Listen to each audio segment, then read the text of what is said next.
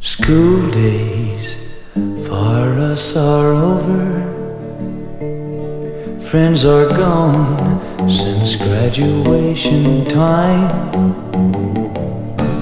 But I still have you, and I owe it to the class of 59.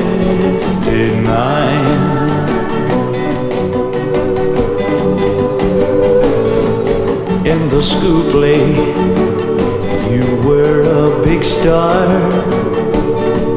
while the smaller part was mine.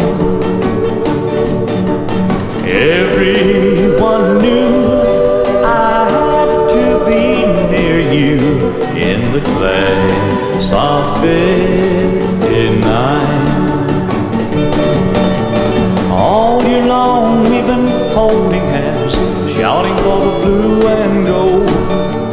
All year long we've been making plans, wondering what the future holds. Yearbooks to hold our memories, like the words you wrote in mine. And if they come true, to the class of 59. To the class of 59.